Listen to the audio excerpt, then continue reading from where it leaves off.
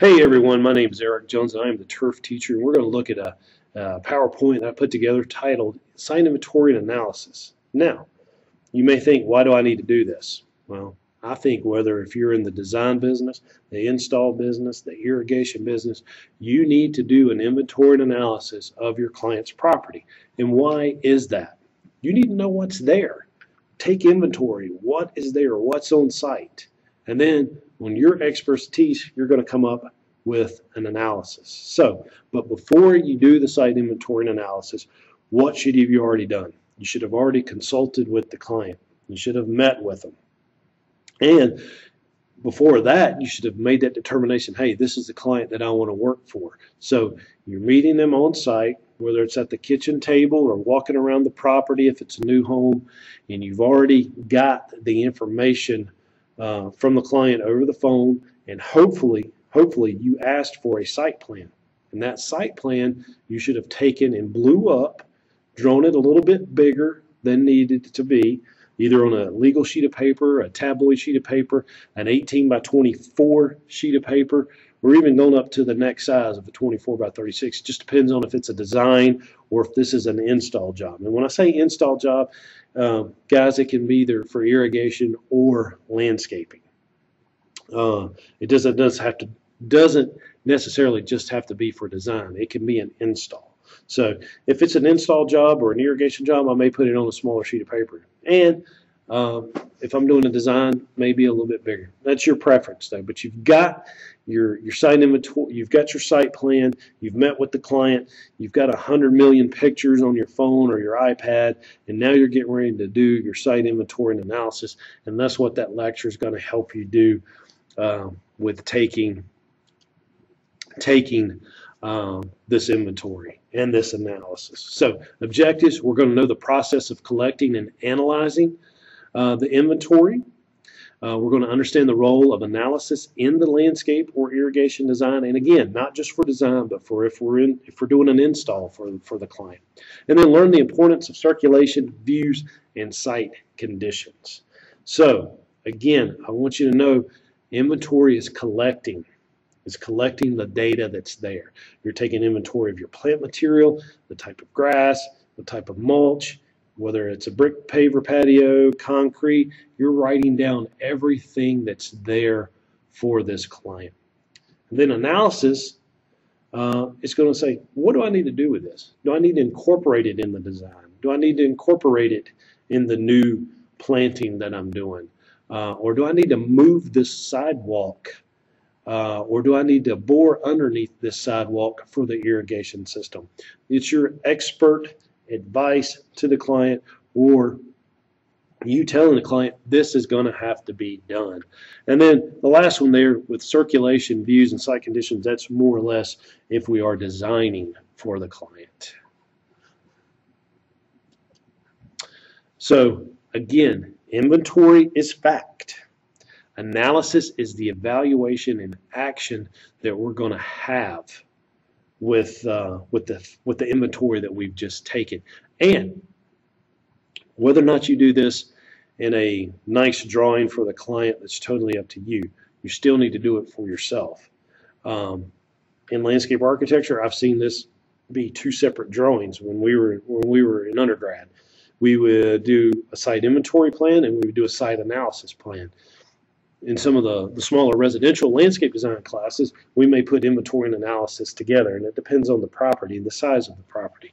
But a residential home, you could probably have it all on one plan. Now, for residential landscape design, you may or may not let your client see this other than at the kitchen table. You may want to sit down with them and kind of go over it. And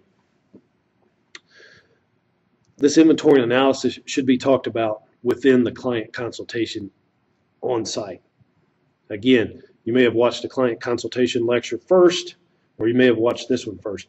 But before we sit down with that client at the kitchen table, we need to do this inventory and analysis and write it on the site plan that you got from them on the initial phone call, or you went to Geodata and pulled that information. And it's easier to, to sit down at the kitchen table and kind of explain this what's going on. And it's better to use symbols versus words uh, when we're sitting when we're sitting there at the table. Makes you look a lot like you makes you look like you know what's going on. It, it's it's um, especially the symbols. They're like, wow, they've took the time to to walk around my property and, and do this sketching on this on this survey of my yard. It makes me feel comfortable with them. So you need to have that site survey, which you should have gotten the phone call. The big clipboard that I talked about in client consultation, the tape measure, one on your hip, have a hundred foot tape too with a screwdriver that you can take longer measurements. Uh, colored pens or markers, colored pencils.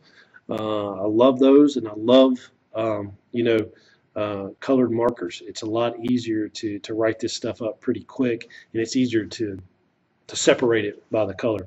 The digital camera and the compass. We talked about that in the last lecture. All on the cell phone. You can get a lot of data that you need right from the cell phone. Uh, the digital camera, or a, I like an iPad because it's a little bit bigger and the clients can sit there and scroll through and you can scroll through. You've got that site playing late on the kitchen table that you've wrote all these notes on and you're scrolling through on the iPad of pictures and you're pointing to it, pointing to the picture and exactly where it's at on the plan and it lets that client know know what's going on. And then we need to know where north is. That way, based on the plant material that we're installing, uh, we can have um, where they need to be. We don't need to plant a uh, azalea on the hot western side of a home uh, if that's one of our clients' favorite plants. So, in the inventory analysis, we need to look at areas and situations. Again, inventory is recording what is present on site and observing any problem areas that the client may have. So, a problem is an inventory. Wet spot in the lawn is an inventory um, low spots, um, e anything, anything and everything is the inventory. It's it's what's there, whether it be that wet spot in the lawn, whether it is a uh, an irrigation head that's leaking. The analysis is to take action in response to the inventory. So that low spot, we may need to add some some subsurface drainage, or we may need to um, look at where the gutters are coming down. All of that, um, figuring out why, um, not necessarily say figuring out why, but our solution to that problem. Even the problems are considered inventory. How we fix it is considered the analysis or our expert opinion on what we're going to do. Now, with some of the symbols I talked about, um, utility, you know, write in utility on the box, that's fine. But, you know, boulder, we're drawing just a rock, a specimen tree. Um, if we need to screen out that utility box, we're just screening it with some squiggly lines. Um, if we wanted to move that boulder, we just use the arrow.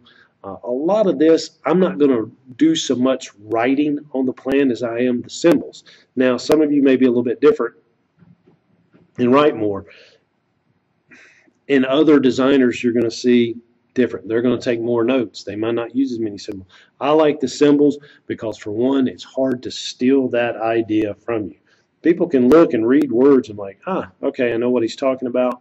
And like I said, I've had one design stolen in the past, and I'll never have one stolen again from me. We learn the hard way.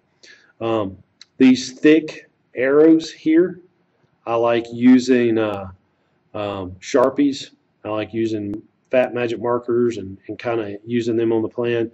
And uh, hopefully I can put some pictures up um, at the end of this lecture or maybe a little quick video on how to draw some of this stuff, but at least have some pictures uh, of how to of what these little arrows should look like if we're using colored pens and markers. It's real quick and real easy. But again, talked about getting that site plan from the client, blowing it up on a larger piece of paper Got an excellent view there. The rotating there, open area, good for herbs or bed. Screening the fence. Need to screen this view. Could be a good area for a walk. Uh, foundation needs help. A good work area for the client.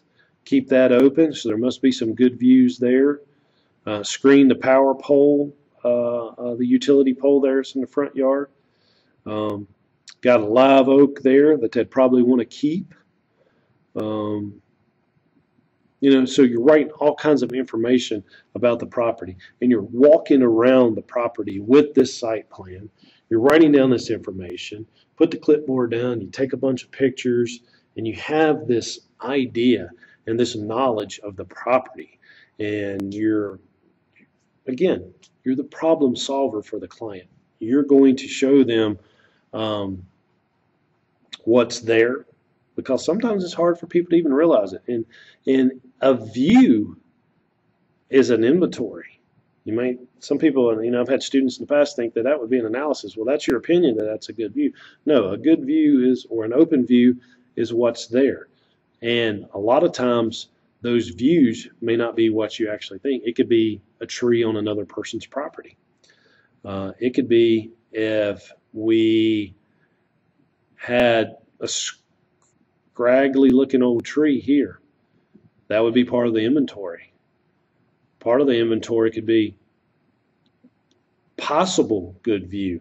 The analysis is if we took down that tree, we've got a good looking view. We've got a view that we can see. So hopefully you're getting the difference between the inventory and the analysis. Inventory is what's there, whether it's a good view, bad view, potential view. Analysis is how we get to that or we maintain that.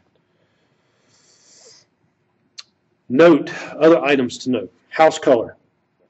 We want to uh, notate the color of the house and the type of building materials. And why would we want to note that? We want to note this because uh, we may not want to plant Delaware Valley white azaleas in front of a house that either has white brick, painted white brick, or white vinyl siding. The customer really loves azaleas, so we may need to go with some corabelles or something else. We don't want to make that mistake of having white flowers upon a white house or red flowers up against a red brick. That's not doing our clients any justice. We're the problem solvers for them, and we're supposed to design them and give them what they want. So don't do that. Doors and windows. We need to know, especially with the windows, the height of the window, because you don't want to plant anything that's going to grow up above that window or be a pruning nightmare for them in the future. Uh, you need to know where the doors are because if you're going to put a deck or a patio, you want to make sure that you're doing it where the door is. Now, because when you're looking at that site plan, all you're seeing is the outline of the house. When you go and do the site inventory and analysis, part of the inventory is where are those windows? Where are those doors? And you write that on your plan so you know exactly where they're at. Note where the rooms are. Why do you want to know where the rooms are? Well, you want the deck to come off either the kitchen uh, or the dining room, however the house is laid out, but you want to have access and you want good access to the kitchen because you're probably cooking inside. You got a grill set up or an outdoor kitchen uh, on the patio. You want to have access to and from the indoor and outdoor kitchens or the entertainment center. You don't want to put the deck um, off to the side where it's only accessible through the master bedroom. You want to make sure that guests and, and people that are coming over to the house can can easily get to the outdoor entertaining areas. And so make note of that on the site inventory and analysis where these rooms are. Now, also when it comes to rooms, you need to take into consideration views. Now, I don't like going to people's bedrooms, so I'm not going to asked to see that. But when I meet with the client at the kitchen table, I'm going to look out the kitchen window. I'm going to look out the dining room window. I'm going to look out the foyer and the living room windows, and I'm going to see if there's any potential views or even bad views. And that's part of my inventory. And what would I need to do about that would be the analysis that I'm coming up. And it's some people may not even realize that they could have that good view uh, with just removing a you know um, you know a tree or or or opening up a view to another person's client. And I think it, I think there's a picture in here that actually, when we're talking about views, the client actually has a live oak that is just gorgeous in shape, and they wanted to keep that view visible from their client's house. So on your site plan, again, just keep uh, you know simple. They're writing here. We have an office, we got the kitchen. The window's four foot from the ground on the kitchen. There's the door. we got the two bedrooms, and we got a dining room. So if we were putting a deck on this house, we would definitely want it to come off the kitchen and possibly come over to the office.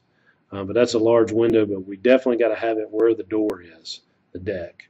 And then maybe we'd put some steps and go down to have a patio here or something. So just depends on the property. You just need to know where where the rooms are inside the the home.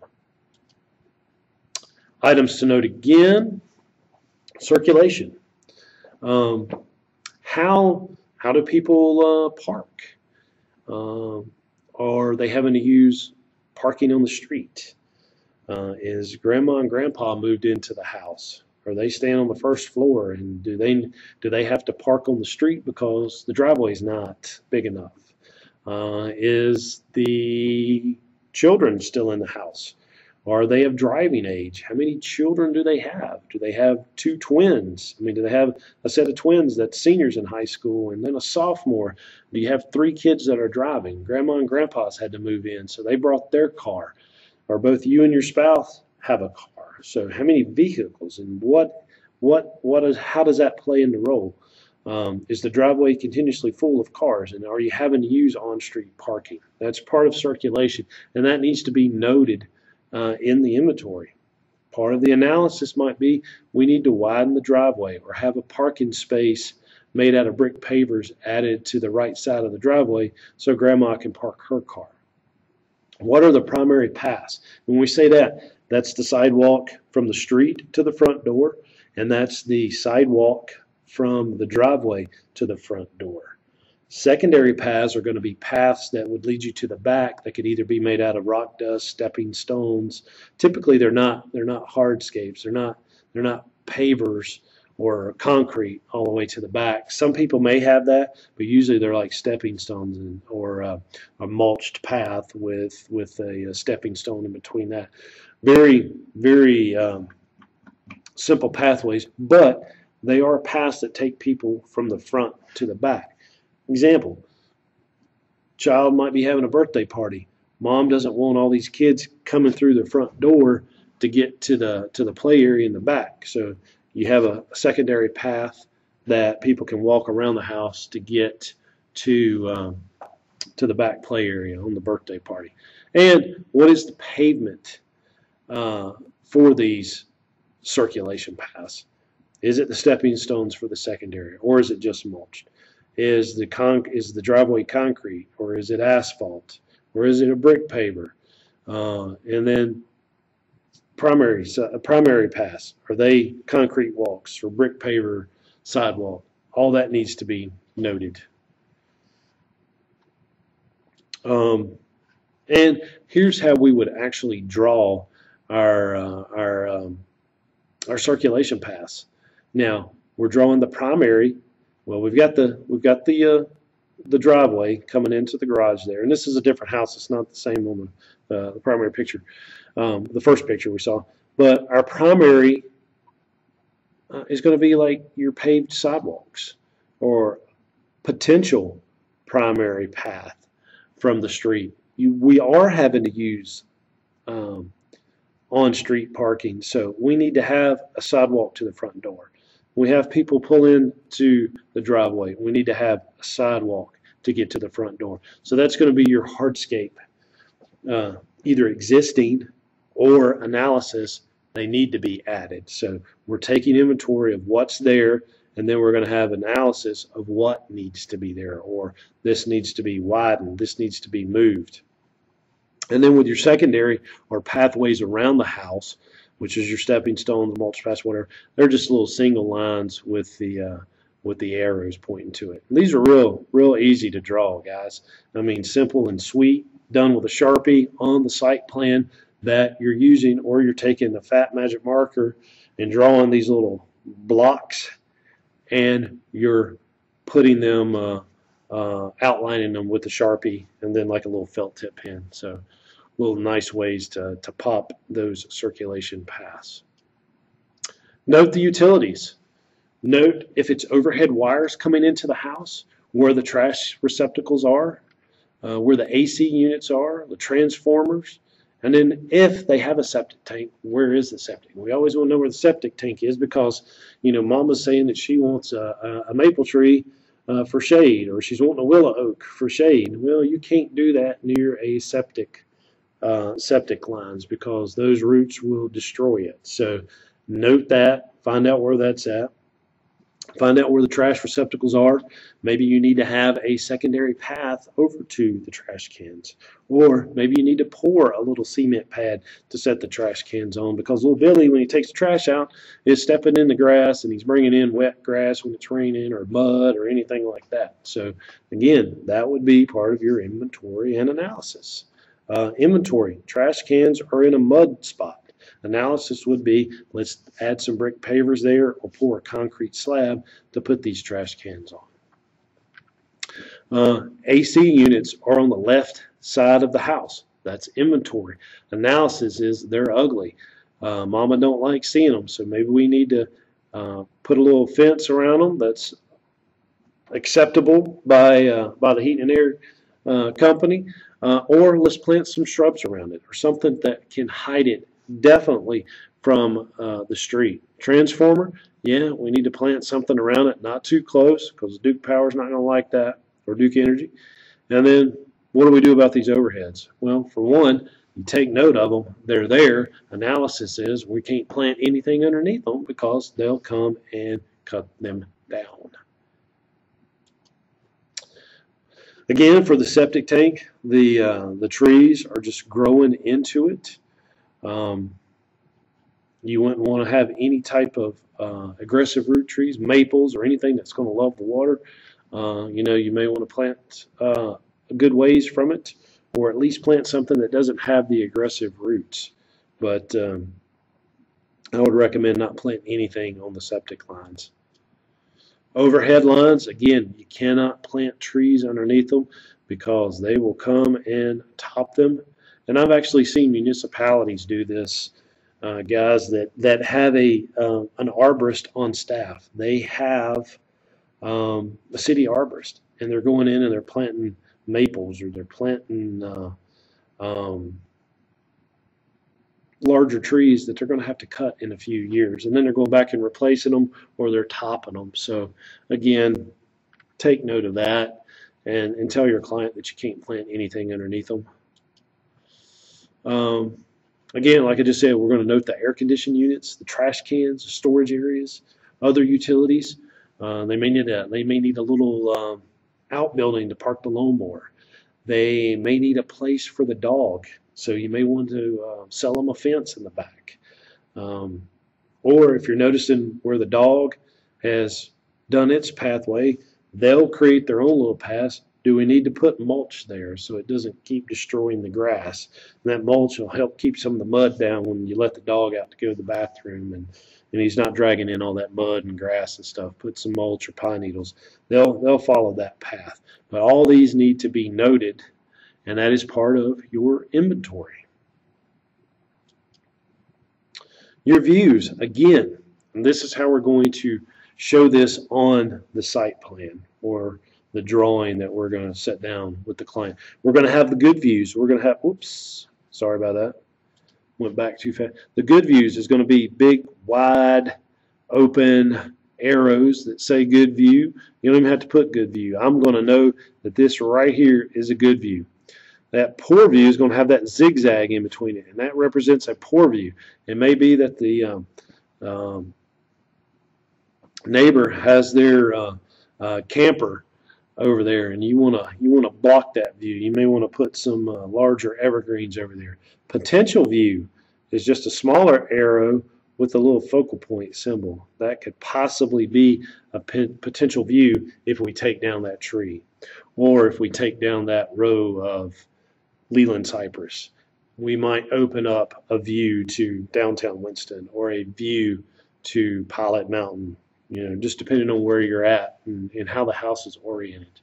But always note the good, the poor, again, from the inside of the house, and then any potential views that the client may possibly have. And, and again, it's hard sometimes for these homeowners to realize what potential views that they may have.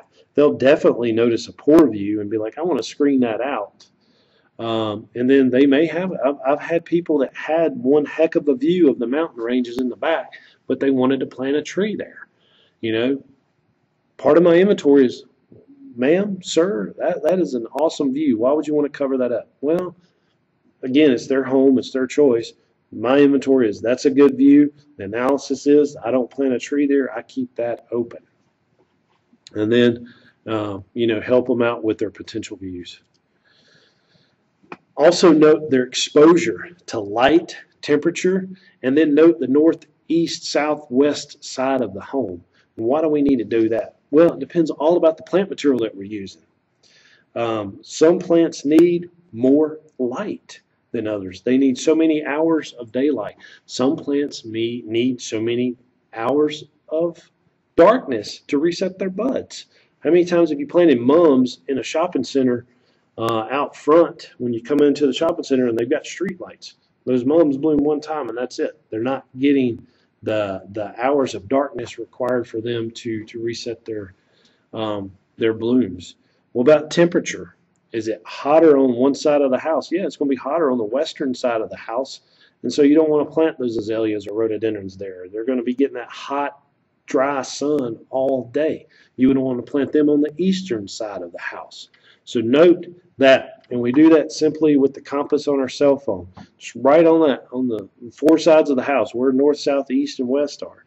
And um, with that, it's going to be hard in some of these neighborhoods, especially the smaller lots.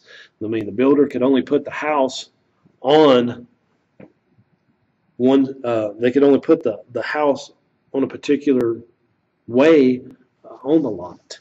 And that's going to dictate where we can put some of these plants that our clients want. You know, the ideal place to have uh, your outdoor room or your patio uh, or your deck would be the eastern side of the house. But we may not be able to just the way the house is positioned on the lot. So as a landscaper and as a designer especially, there's things that we can do to help the client still have that deck on the western side of the house. And we'll plant them a shade tree. So, um, but you need to know where uh, north, south, east, and west is when you're back at your uh, office designing the, the landscape for them. Uh, and simple as this, just, you know, you don't even have to put north, but we know that north is going to be cool, moist, and shady. Uh, we know that the east is going to have morning sun. It's going to be a comfortable afternoon. We know that the south is going to be hot, dry, and sunny. And then the west is going to have afternoon sun, and it's going to be hot and dry. So you definitely don't want to have a deck uh, on the west or southern side of a home unless you're a sunbather and that's what you want uh, you'd prefer it on the east. Well, what if the uh, what if the uh, the back of the house is is to the south? Again, this is where we'd plant our shade trees and and move forward with with our knowledge on how we can uh, problem solve for these clients. Um, this is pretty neat. This is uh, pretty good information. Uh, we have longer shadows in the winter. And why is that? That's because the sun is lower in the sky. In the summertime, it's higher in the sky. So if I'm standing here and I've got the sun over me, that shadow's coming down on top of me, it's going to cast a smaller, shorter shadow than if the sun is lower in the sky and hits me, and it's going to project a longer uh, shadow um, in the winter months. And why is this important? It all comes down to microclimates again for the plants. Some plants need more daylight. And if you've got, it may be getting the perfect amount of sunlight and daylight during the summertime, but in the wintertime, there may be shadows that cast on it, and that plant might not get any sunlight just by the position of the sun. And that's something that, you know, you're just going to have to uh, uh, to take notes of. You're going to have to go and see, and with your compass, and you write that on the map, you'll be able to predict why that's happening. I've had, clients call me and say, hey, this plant of mine's not blooming. It's not blooming, but, but my neighbor down the street, theirs is on fire. It's gorgeous. It's blooming. And well, they may be in full sun down the street, and it's getting the exact amount of sunlight, Well, this one over here may only get two hours of sunlight. And so they're wondering why theirs isn't blooming just like their neighbors. And what you do is you plant it, dig it up, plant it, move it for them to where it's getting all the sunlight that is required. Again, northern exposure receives full shade most of the day. It stays cooler. It remains the, the, the moistest and dampest. That's why you'll see moss only growing on the north side of a, of a uh, tree. That's why you'll only see, uh, you'll still see snow hanging out on the roofs on the northern side uh, of a property. Um, southern exposure receives full sun and gets hotter than the northern exposure. This is why snow melts uh, on the on the south side of a hill before the north side. Same thing with the roof. Uh, northern exposure, uh, since sunlight enters from the south, the north side of the object, such as a house or trees, uh, is shaded throughout most of the day. This is why moss grows on it again, and where it's more shady and moist. So you may want to uh, have your plant materials that can stand a little bit more wet feet and definitely need the shade is where you'd want to have them on the northern side of the home. Uh, again, talking about the snow, you know, you're going to see it hanging out on the mountain or the roof side on a northern on the northern slopes. It's going to melt quicker on that south. It's going to be in the sun all day. And so, which exposure should we take a advantage of as a designer uh, or a landscape contractor? We want to take advantage of the eastern side of the house or property if at all possible. And again, it depends on the the property. It depends on the location of the house on the property. We may not be able to take advantage of that eastern side, but we sure want to if we can. Um, and which exposure should we uh, screen? Definitely the western and southern side, if at all possible. And guys, this can actually help us be part of the green building craze that was, you know, was going on, and I think it'll come back. People are more energy conservative and and, and want to do right by nature, so they, they love this idea of, of implementing green ideas into their landscape and into their home. And we can do that. Just take a brick house, for example. Um, brick house absorbs all this heat during the summertime and it's going to make the house work. It's going to make the the cooling, uh, uh, the the the air conditioning of the home. It's going to make it work harder if there's no shade on it. So we have hot summer. We've got the sun shining down on this red brick. It's just absorbing all this heat. The air conditioning unit is really working hard. Well, that's bad in the summer, but that's also helpful in the wintertime that sun is beating down, heating that brick up and keeping it a little bit warmer, and the heating system's not having to work as hard. But the air conditioning unit sure works its tail off in the summertime. Well, what can we do as a landscaper to help that? You plant the deciduous tree there Uh, uh, on the side that's receiving all that sunlight and heat during the summertime. It's going to shade it You've got a deciduous tree, it's still going to allow for summer breeze to come in through it, but you've got the sun that's being blocked by those leaves and not hitting the brick. And you can you can you can go touch brick, one that's shaded and one that's not, and feel the difference in heat. And that heat's just being absorbed into the house. Well, the tree loses all the leaves in the wintertime. It's allowing that sunlight to hit that brick and warm the house during the, the winter months. So we are just as big a part of the, the green building, green building uh, or certified energy homes and, and Energy Star, we can help with that just as much as any of the other trades people when it comes to building homes. And this is exactly what I'm talking about. The southern exposure, the deciduous tree is stopping that heat from hitting the house and keeping it cooler. And in the wintertime, the deciduous trees allows that allows that sunlight to hit the house and warm it up during the uh, the winter months. And so a lot of times homeowners may not even take that into consideration. And it'd be neat to see what the studies are on what these deciduous trees um, do for the properties.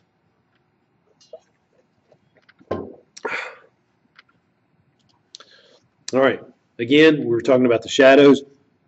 Look here in the winter, we've got that longer shadow that's hitting that shrub, and it's shorter right there. Well, they may be needing to set their buds this time of year. All right? But they need full sunlight. So something as simple as moving this out a little bit further would take care of that situation. Well, well Eric, my my shrubs aren't blooming, and the neighbors are. Well, they're in full sun year round. That shadow in the winter prevents that from happening. And they, and your clients would never, never, ever know that. So, winter the shadows longer? Summer or winter? Longer shadows happen in the winter. Why is this important to note? We just went over that. It's all about the bloom cycle of the plants. It may or may not bother an evergreen shrub, but a particular plant that needs so many hours of sunlight to set its buds or to bloom, you may need to take that into consideration. All right, something else with shadows. And I tell my students this at the college all the time.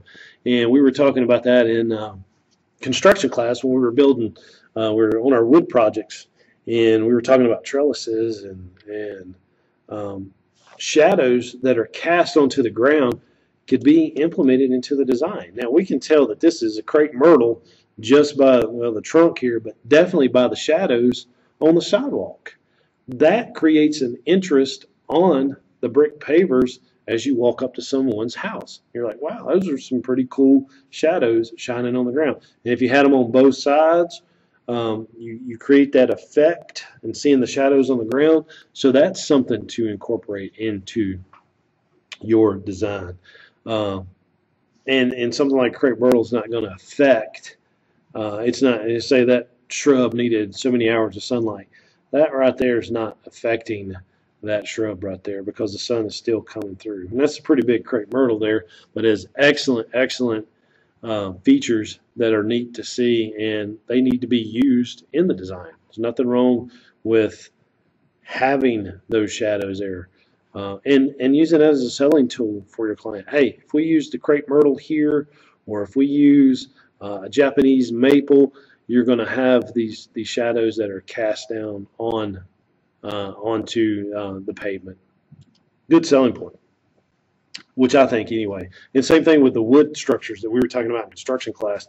You know, the the pergolas and and the arbors they create a shadow uh, on the ground that's just as pretty as the structure itself. Um, inventory on this picture, guys, look. The inventory is that we have a northwest exposure, that we have winter winds that come in from the northwest. The analysis is I need to block this wind with a evergreen shrub or evergreen tree. Now, what have we just done here? we're blocking that wind, that cold wind from hitting that house, which is in return going to help not run the heating system as much. If that wind was hitting the house, that outside of that building or that house is going to be colder and it's going to cause the heating system to work a lot harder than it should. This tree is blocking that wind, which is going to give that home an insulating effect. Those plant materials are insulating that house from those prevailing northwestern winds. It's blocking it. It's going to reduce that wind chill, which in turn conserves energy, conserves the energy, and uh, lowers the heating bill for that client, which in turn is part of green building and helps reduce our energy consumption by just the use of plant materials. And again, southwest exposure, we're blocking that summer heat, allows that summer breeze to, to cool that house, but it's blocking that hot summer sun right there. And then when it, well, when that tree becomes deciduous, it allows the heat, the sunlight to heat that house in the winter months. So um, good picture there. Uh, I know it's kind of a repeat of the, the earlier picture, but it, it, shows you that it's blocking that heat. But we want that summer breeze to hit that house, and that's a good area there to possibly have, um, you know, the patio. Even though that's southwest exposure, But with that deciduous tree, we could do our patio or we could do our deck there because we're not going to be so hot uh, during the, the summer months. Also note existing plants. Um, you know, got a red cedar there, provides a good screen, so we'd want to keep it. Red maple, 20 foot wide canopy, 35 feet tall, has a good value. We got some scrubby forsythia here. Uh, consider replacing. So basically, we're making these notes of the plants in regards to the house. We want to know their condition, their size, the location, and whether or not they need to be removed or included in your design. So always note uh, your existing plants, that is your inventory, and the analysis is either we keep it or we get rid of it.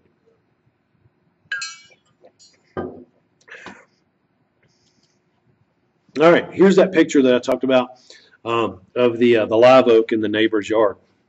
It's okay to enhance a view on someone else's property. They're sitting here underneath the covered deck and they're out looking and they see that gorgeous willow, not the willow oak, but that gorgeous live oak right there on their neighbor's property. Enhance that view. Don't put anything in front of it that's going to block that because I love a live oak. I do.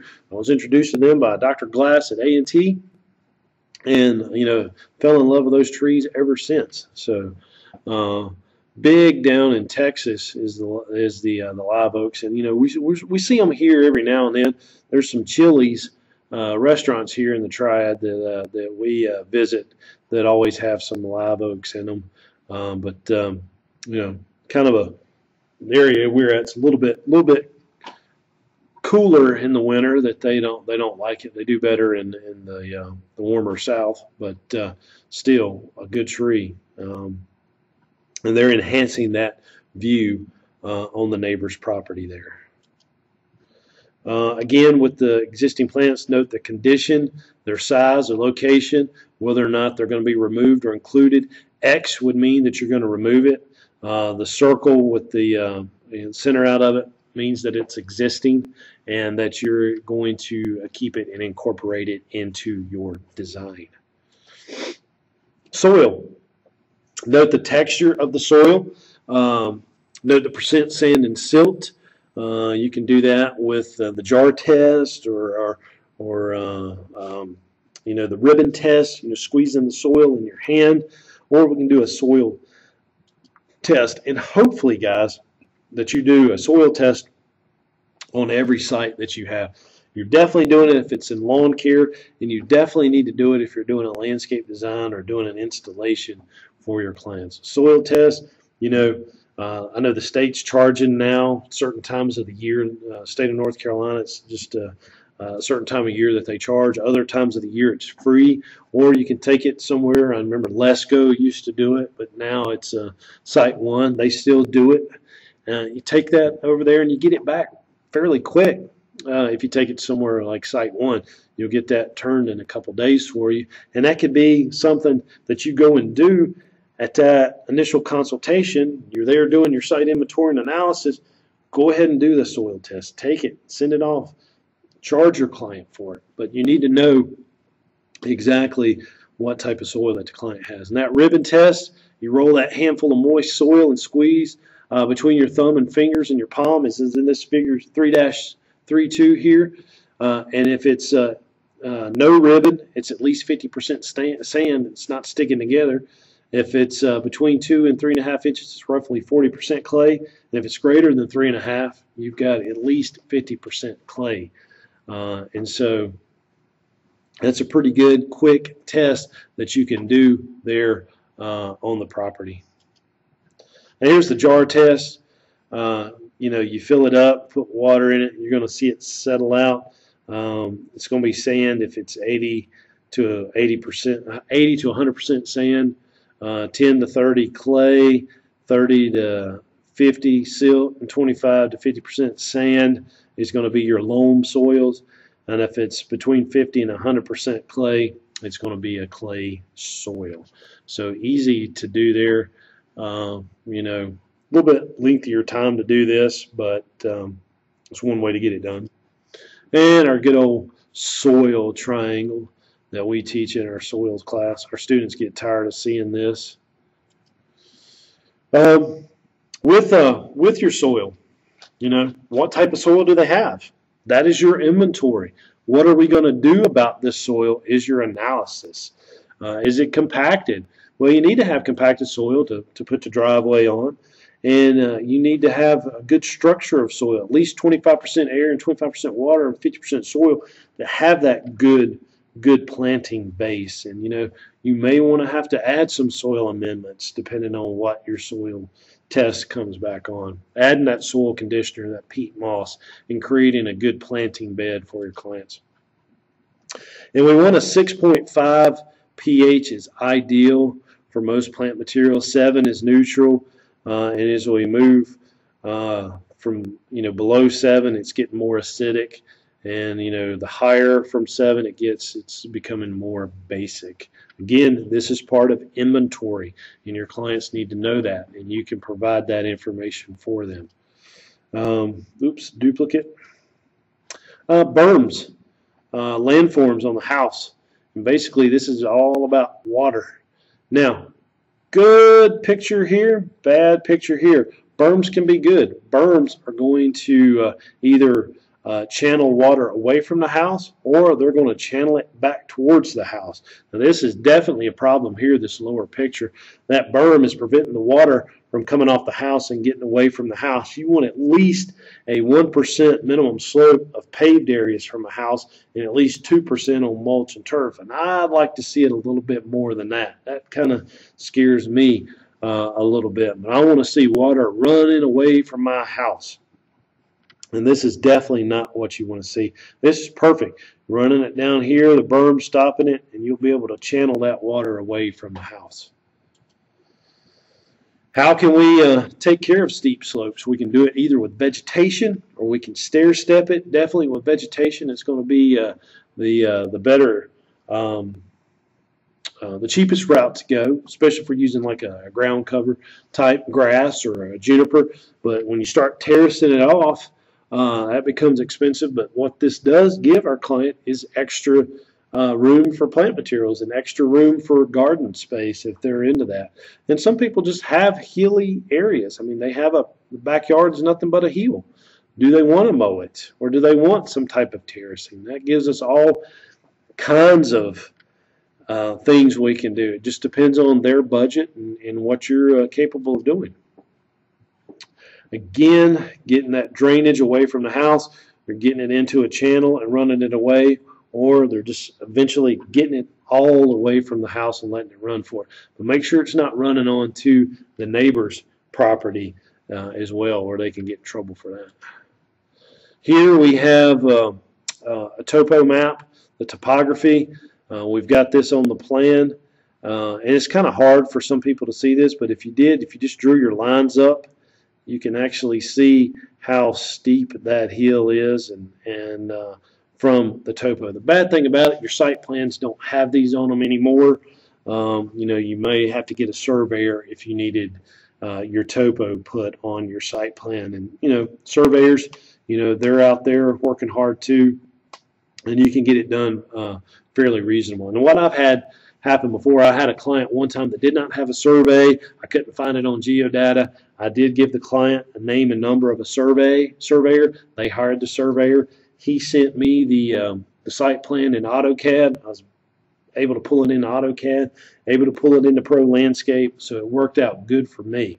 I think she spent 350 bucks, but this was it's almost wow, probably 18, 19 years ago uh, that uh, she did that. But it was uh, fairly inexpensive for her, and I was able to, to go right to work with the site plan, made my money. We sold the job, we sold the design, and sold the install. So, and that was all about client consultation.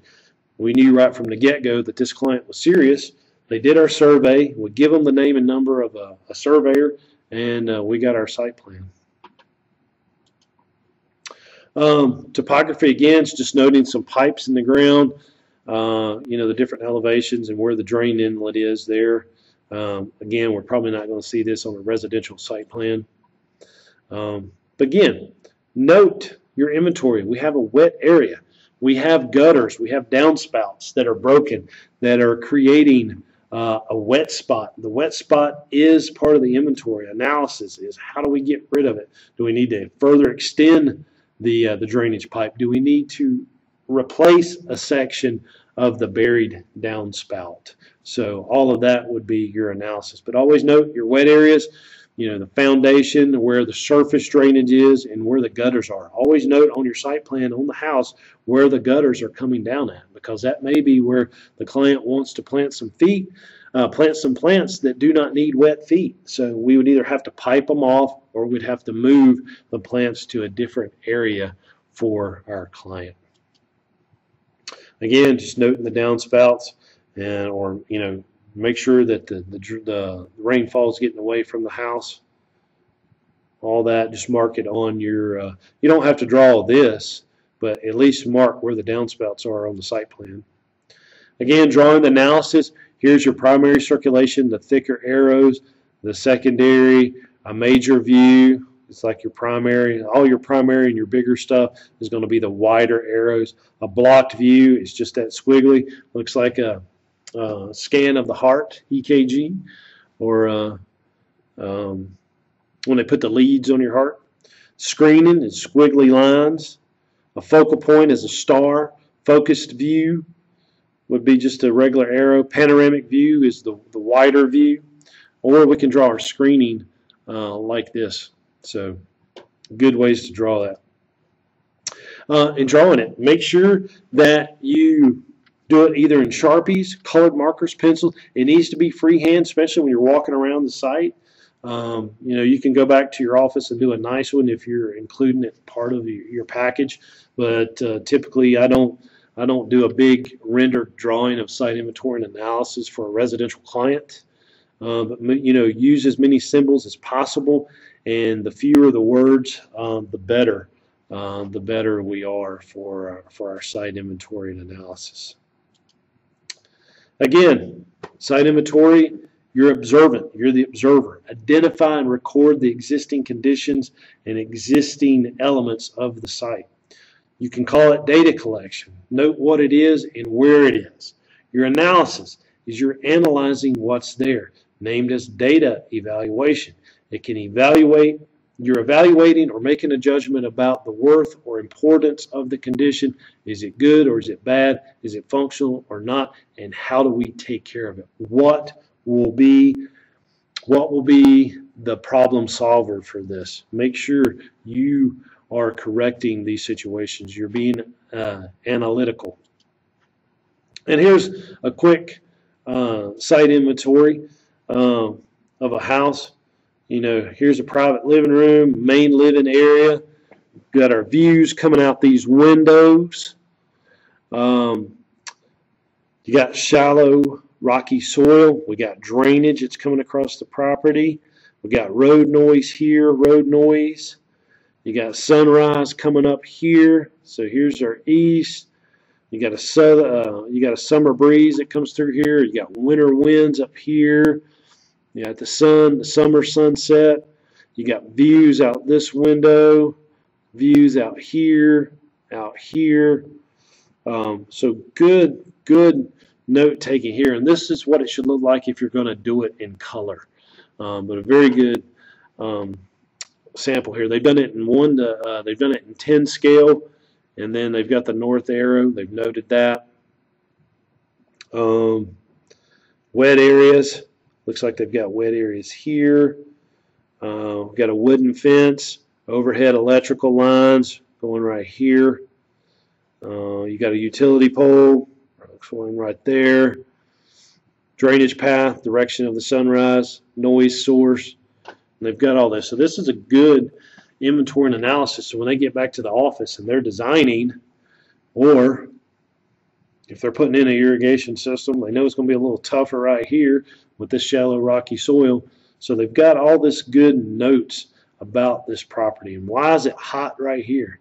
You know, you got the sun, um, you got it coming over here, easterly direction, north is to that way. So you got the west right here. So that's why it's hot in that area. So they would need some shade trees on that um, patio that they're designing for them. Another uh, example of how to do it. I know the uh, um, the writing's a little bit bad, but uh, got the north drawn in. You got where the sun sets.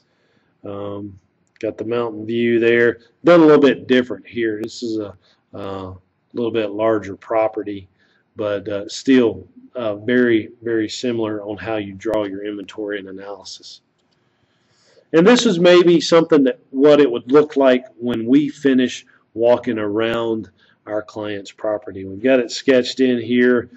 Um, utilities above the ground, existing trees small. We have an open view from the street here. Um, we've got water from the downspout hitting the uh, the driveway. We've got our sidewalk going in. Uh, we've got a fence. We've got a workbench. We've got the trash cans. All this is gravel, so that's a pretty good area. We've got our AC units, other utilities. We've got gutters coming down right here. Uh, all this is sod. There's a swale here to get water away. Existing trees are healthy. Uh, we have an open, exposed feeling here. We've got sod. We've got a low area. We've got a high sun area. All this is sod. We got the patio.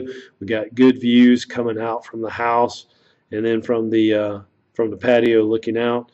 Be a good spot for a play area. That's an analysis that that could be used for a play area.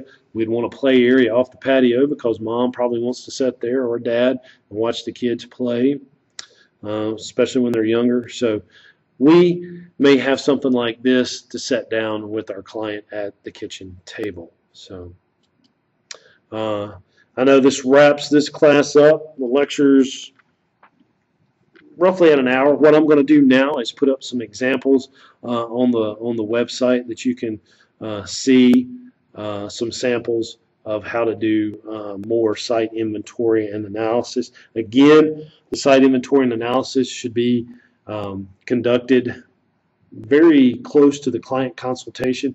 And I'll tell you how I do it. I get the phone call. I determine whether or not I want to work for the client. I'm going to ask them for that site survey or the site plan. I'm going to blow it up. Uh, if they can give it to me, I'm going to download it off the Geodata website. And I'm going to draw the, the property. I'm going to get to the client's house about 15 minutes early uh, then I'm supposed to meet with them. I'm going to walk around the house, take pictures, and I'm going to do that quick site inventory analysis. I'm going to write it on the, the paper, and I'm picking out the major issues and the, the major things. Now, yes, you may want to have to go back and do it after you've talked with them at the, at the kitchen table and, and make some more notes because they may have given you some more information. So roughly with a design client, before I get a down payment, I've probably got about anywhere from 30 minutes to 45 minutes, maybe even an hour, because I want to impress them. I want to sit down at that table. I want to show them the pictures of their property. I want to show them that inventory and analysis that I've done sitting there. Now, take you got you got to remember, if I'm designing, it's one thing. I'm going to be a little more detailed than I was if I'm going to pick up a set of plans and price for them. I'm still going to do that site inventory analysis because it's going to help me, but I'm picking up the plans and I'm not going to do so much. I'm definitely not going to do it as graphically. But if I'm doing irrigation, I still need to do site inventory and analysis. I need to see that site, take note of what's there, and how do I need to overcome these problems.